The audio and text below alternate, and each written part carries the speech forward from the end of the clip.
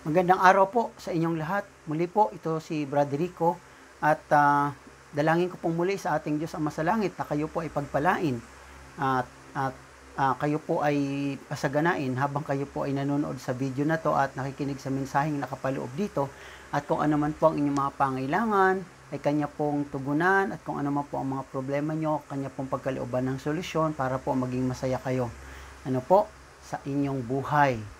At nais ko pong ipagpatuloy ang uh, tinatalakay ko po na paksa tungkol po sa how to deal life's problems. Ano po, nandun pa rin po tayo sa uh, first part ng ating pong uh, pagtalakay which is know the basic truths about life's problems. Ano po?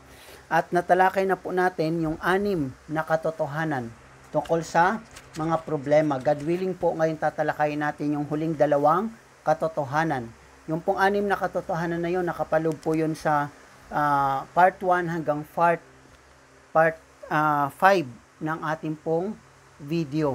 Ano po, sa, kung hindi nyo pa po yun napanood, ay mapapanood nyo po yun sa RAL, R-A-L TV channel sa YouTube at uh, pag nagpunta po kayo doon ay click nyo lang po yung playlist at nandoon po yung mga video how to deal with life's problems. At kung hindi pa po kayo subscribers, Please don't forget to subscribe, uh, to click the subscribe bot, subscribes button uh, para po maging subscriber kayo at ma-notify every time na mag-upload po tayo ng video. Ano po na makakatulong para sa ating pang-araw-araw na pamumuhay.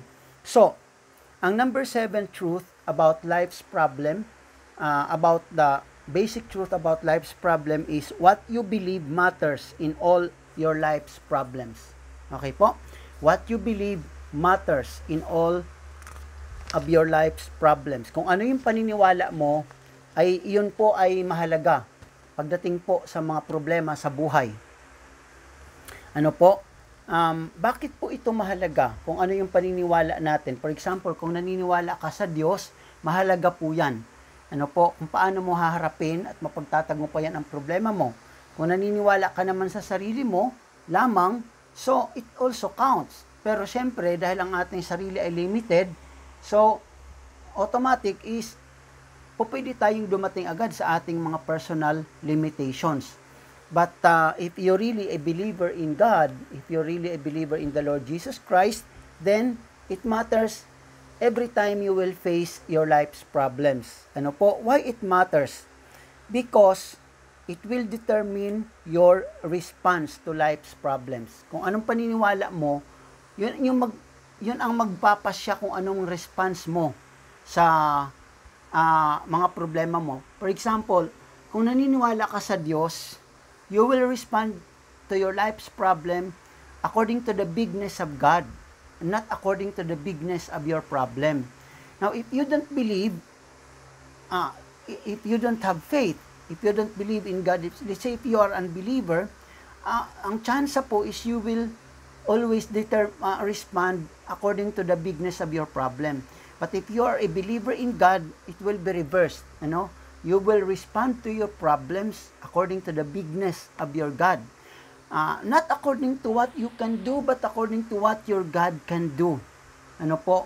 Uh, not according to your limitation, but according to the power of God. Yun po yung importance kung bakit, yun, kahalagahan kung bakit importante po yung ating na meron tayong pananampalataya o we believe or we put our trust in God. Another thing mga kapatid, bakit mahalaga yung ating pananampalataya because it will determine your victory or defeat. Okay? Ang nagdidetermina kung ikaw ay magtatagumpay sa problema mo o matatalo ka ay kung ano ang paniniwala mo. Ano po? Kung naniniwala ka na ang ang ang grasya ng Diyos ay mahalaga o higit sa sapat sa buhay mo, then uh, hindi pa man tapos ang problema mo, ay nandoon na yung malaki mong expectation na you are victorious. Pero if you do not believe, iba ang mangyayari is uh, ang malaking chance is you will become a defeated or a loser. Alam niyo po ang difference daw po ng doubt at saka faith. Gusto ko lang pong i- explain po sa inyo. Ano po? Yung, yung doubt, ano po, ay, doubt is faith in reverse. That is the definition of doubt. Ano po? ibig sabihin ng faith in reverse, naniniwala ka, kaya lang pabaliktad. Yan po ang doubt. Naniniwala ka din, kaya lang pabaliktad yung paniniwala mo. For example, kung naniniwala ka na may solusyon ng problema mo, ang doubt naman ay naniniwala kang wala na itong solusyon. Yon. Kaya maraming minsan nagsasabing wala na tong pag-asa, wala na tayong pag-asa sa buhay na ito because they're doubting. Kaya yun po ang lumalabas sa kanilang bibig. But if you are a believer, if you are a firm believer and you put your trust in God, ano po, you you have always that uh, uh, assurance na your faith will make you a victorious person kahit na po ano pa yung problemang pinagdadaanan natin sa buhay. Uh, ang sabi, tingnan niyo po ang sinasabi sa Matthew chapter 7 verse 24 to 27 Uh, ito po yung example, yung kwento na sinabi ng Panginoong Iso Kristo tungkol sa mga taong nakikinig ng kanyang mga salita at nagsasabuhay nito at doon sa mga taong nakikinig pero hindi nagsasabuhay. Ang sabi niya yung mga taong nakikinig ng kanyang mga salita at nagsasabuhay nito ay katulad ng taong matalino na nagtayo ng bahay sa ibabaw ng bato. Dumating yung bagyo, yung unos, hinampas ng malakas na hangin, yung bahay pero hindi ito nasira sapagkat nakatayo sa ibabaw ng bato. Anong ibig sabihin yan? If we are listening always and we, we put the Word of God into practice, that is our faith. Then our faith will make us stand. Ano po? Will make us strong and endure even what kinds of life's problems. We will remain uh, standing and we will end up in victory. Pero sabi ng Panginoon, yung mga nakikinig ng kanyang mga salita at hindi nagsasabuhay nito, ay katulad ng taong nagtayo ng bahay sa buhanginan. Di ba? Binagyo yung bahay na yon, uh, nasira, nawasak yung bahay na yon. Hindi siya nakatagal sapagkat hindi naman siya nakatayo sa batuhan. Wala siyang pundasyon. So ang pananampalataya na hindi nakaugat sa salita ng Diyos ay hindi rin magtatagal at magtatagumpay. Pero ang ating pananampalatayang nakaugat sa salita ng Diyos sa pamagitan ng pakikinig at pagsasabuhay ay mauuwi ito, magdadala po ito sa atin sa isandaang porsyentong katagumpayan kahit anuman po ang mga problema ang ating pagdaanan. Ano po? So, your faith matters in God. Ano po? In all of your problems. Yan po ang pang pitong katotohanan. At ang pangwalong katotohanan po ay uh, dalangin ko po sa Panginoon na ito po ay inyong matanggap. Ano po? Pero ito kasi ay totoo. Number eight truth about life's problem is we need life's problems. Okay po? Ang katotohanan po sa buhay na ito, sa mundong ito hanggat nandito tayo, ay kailangan natin ng problema sa buhay.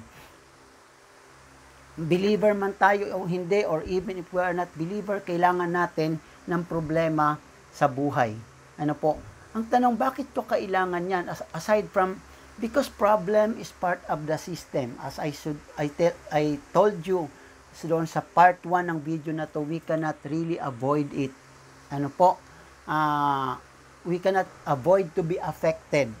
So, um, ang katotohanan is, habang tayo nabubuhay sa mundong ito, kailangan natin ng problema. Alam niyo po kung bakit? Kasi kung hindi, wala tayong problema, madali po tayong mamamatay yan po ang totoo. Alam niyo po ang taang buhay na walang problema, boring po yan eh. 'Di ba? Walang challenge, 'di ba? Ah, kasi wala pa naman tayo sa eternal life. So anong gagawin natin? Ang gagawin natin eh kung wala tayong problema sa buhay, eh madali tayong mamamatay. Sasabihin ng iba, bakit sa langit walang problema ang tao po ay hindi naman man, namamatay kasi nasa eternal stage na po sila or eternal state na po sila ng kanilang buhay, wala na silang kamatayan. Ano po? at wala na rin pong problema doon. Pero dito, mga kapatid, ay kailangan po po natin talaga ng problema. Yan ang dahilan kung bakit sa mga tanong, yan ang sagot kung bakit hindi ako nawawala ng problema. Because the truth of the matter is, you really need life's problems. Okay? Tingnan nyo po, ang isang halimbawa, yung nagtanong po kay Mang Tani, minsan may nagtanong kay Mang Tani, kilala nyo si Mang Tani, isa, isa, isa po siyang weather forecaster ang sabi niya, Mang Tani, po pwede po ba na dito sa Pilipinas ay wala na po tayong bagyo? Alam niyo po, nung napanood ko po yun, hindi ako halos makapaniwala doon sa sagot ni Mang Tani. Ang sabi po ni Mang Tani, hindi po, hindi pwede, sabi niya, dahil kailangan ng Pilipinas ang bagyo. Ang sabi ni Mang Tani. Sabi niya, kung walang bagyo na darating sa Pilipinas, wala walang ulan at kung walang ulan, walang tubig at kung walang tubig mamamatay ang mga Pilipino kasi nga wala silang iinumin. 'Di ba pagka pagka El Nino eh takot na takot na ang marami sa atin pagka nagbabalita na na bumababa na yung mga water level sa ating mga dam because that is the truth. So Tinan nyo po, yung bagyo na ayaw natin, pero nagdadala ito ng magandang result sa buhay natin. Uh, kaya ang katotohanan is, kailangan talaga natin ng bagyo. Ano po, sa buhay po natin, kailangan natin ng problema.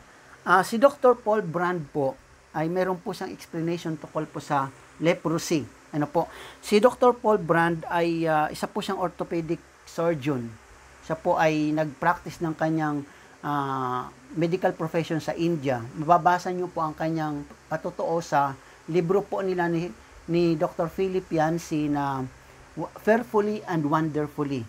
Ang sabi po ni Dr. Paul Brand sa mga taong may leprosy, kapag ang virus pala ng leprosy ay kumapit sa tao, ang unang-una palang ginagawa ng virus na to is sinasilence yung pain cells sa katawan natin, sa katawan ng tao. So, ang taong may leprosy, nagiging manhid siya.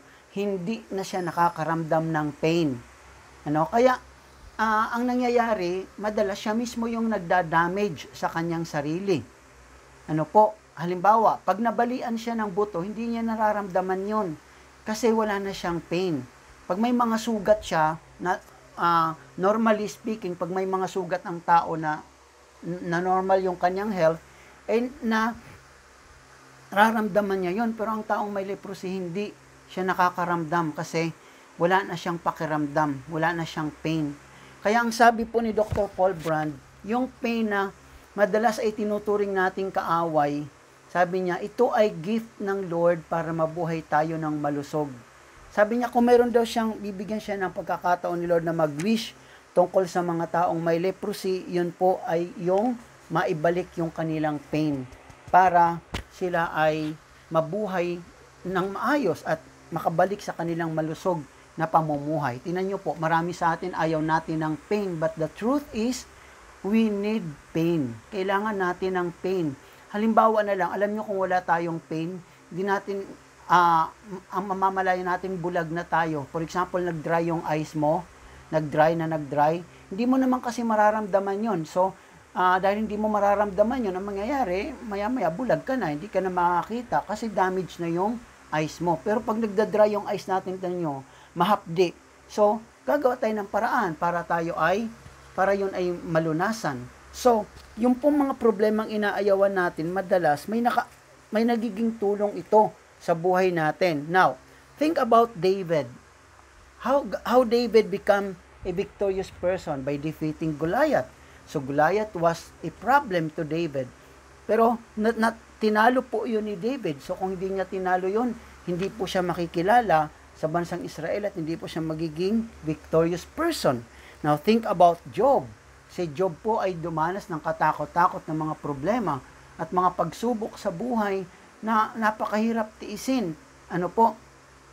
Yun po ay katakot-takot na pagsubok. Ang sabi ng mga mga Bible scholars ay tumagal ng 9 months. Yun pong trial, yung testing of faith kay Job. Ano po? Pero uh, kinailangan niya yon para magbago yung pananaw niya sa buhay. Sapagkat doon sa trials na yun, ang pinaka the best na naranasan po ni Job doon sa trials na yon ay nakilala niya ng personal ang Diyos sa kanyang buhay. Di po ba? Now think about Jesus. Si Jesus ay kinakailangan magdanas ng mga uh, kalupitan at siya ay magdanas ng pagpapahirap at pagkamartir at pagkamatay para siya ay muling mabuhay. So yung mga problemang dinaanan ng Panginoong Heso Kristo ay nagkaroon ng mabuting result sa kanyang buhay. Kinailangan yon ng Panginoon para tayo ay kanyang mailigtas. Now think about Paul ang sabi niya sa 2 Corinthians chapter 12, mayroon siyang infirmities at tatlong beses niya na itong pinanalangin kay Lord na ito'y alisin pero ang sagot ng Panginoon, my grace is sufficient for you.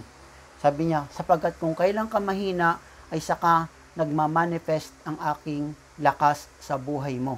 So, itong mga situations na to na kinakaharap natin ay nagpapakita na kailangan natin somehow, whether we like it or not, na mga problema sa buhay.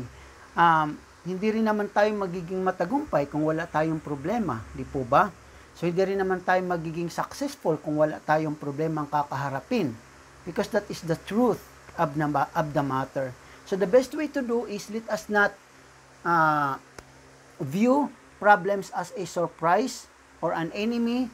Tingnan po natin yon bilang ating bilang opportunity na ibinibigay ng Panginoon sa atin para mamuhay tayo ng may katagumpayan at maging buhay tayong patotoo na ang Diyos ay talagang totoo, ang Diyos na ating pinaniniwalaan.